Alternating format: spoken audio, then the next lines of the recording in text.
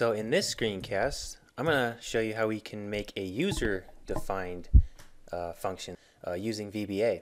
So we have a cone here, and we want to compute the volume of this cone.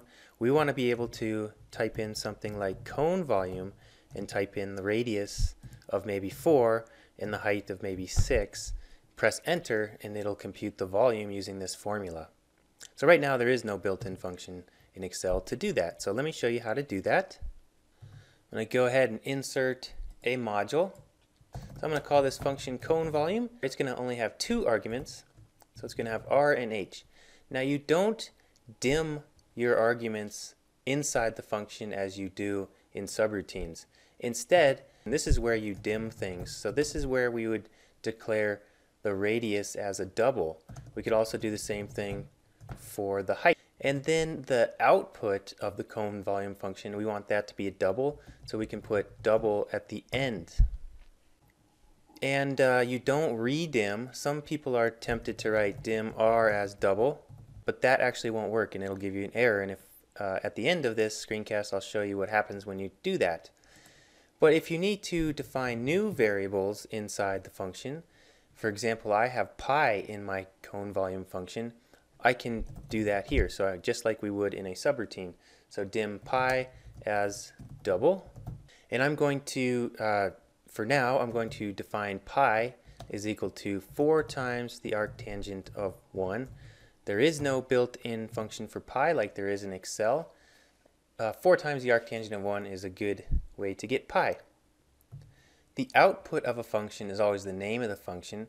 So whatever you want to be output in the cell that we type the formula in in Excel, there has to be a variable named cone volume inside of our cone vol function. So I can do cone vol equals. Now this is where I'm going to put the the right hand side of the volume equation. This is just equal to our pi that we've defined times radius squared times our height that's input by the user divided by 3. And there is our cone volume function. Now I can go over here and I can type in cone vol of, let's say, a radius of 4 and a height of 6. And when I press enter, it'll calculate the volume using this formula. So this works just like other functions in Excel. I could do a case study using it. I can drag it just like other formulas. I can name this cell RAD for radius. Then I can go up here and I can type in my cone volume function with the radius that I've defined down here. I want to do I want to keep a constant radius of 4, but I want to do a case study on the height, changing from 0.5 to 4. The second argument I can just use as my height there, and I can press enter, and then I can drag this down just like you would other formulas in Excel. So let me show you what happens if we dim r inside of the function. Some people think that they have to redim the arguments, as I alluded to earlier, dim r as double. But when we try to do that then, let me go back over here and press enter. It gives us an error and says duplicate declaration in current scope. So you can't redim the arguments that you put into the function.